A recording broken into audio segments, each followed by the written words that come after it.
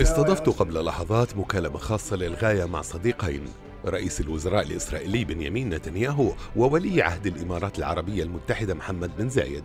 حيث اتفقنا على وضع اللمسات الأخيرة على اتفاقية تاريخية. كان الجميع يعتقد أن هذا سيكون مستحيلا. وكما تعلمون فإن محمد هو أحد القادة العظماء في الشرق الأوسط.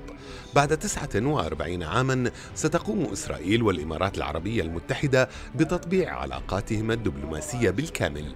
سيتبادلون السفارات والسفراء ويبدأون التعاون في مجموعة واسعة من المجالات بما في ذلك السياحة والتعليم. والرعاية الصحية والتجارة والأمن. إنها حقا لحظة تاريخية. الآن وبعد أن تم كسر الجليد أتوقع أن تحذو المزيد من الدول العربية والإسلامية حذو الإمارات العربية المتحدة. أود أن أشكر قادة إسرائيل والإمارات على شجاعتهم وقيادتهم للتوصل إلى هذا الاتفاق الهائل الذي سيعرف باسم اتفاق إبراهيم. يعتمد الرئيس ترامب مناهج غير تقليدية، يفعل الأشياء بطرق مختلفة لكنه يستخدم الفطرة السليمة ويحاول توحيد الناس من خلال التركيز على المصلحة المشتركة بدلا من تركهم يركزون على مظالمهم المشتركة. وما حدث هو أننا تمكنا من تحقيق النتائج التي لم يتمكن الآخرون من تحقيقها وهذا من شأنه أن يرتقي بالمنطقة وبالعالم كله.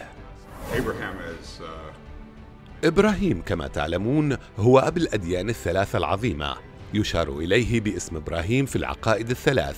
المسيحية والإسلامية واليهودية. ولا يوجد شخص يرمز إلى إمكانية الوحدة بين جميع هذه الديانات الثلاث العظيمة أفضل من إبراهيم. ولهذا السبب أعطينا اسمه لهذا الاتفاق.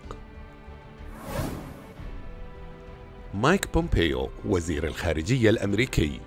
إنه يوم تاريخي وخطوة مهمة إلى الأمام من أجل السلام في الشرق الأوسط.